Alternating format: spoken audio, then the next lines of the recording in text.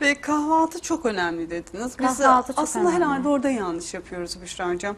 Ee, aç kalarak daha hızlı kilo vereceğimizi düşünüyoruz.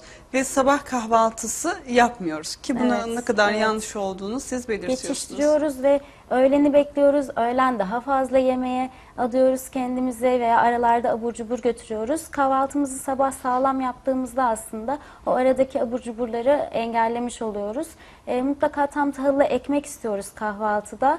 E, bir iki dilimde olsa çünkü ekmeksiz diyeti olmuyor. Ekmek yemediğimizde kas kaybı e, gelişiyor. Çünkü çoğu kişi diyete girdim artık ekmek yemeyeceğim e, diye başlıyor diyetine aslında.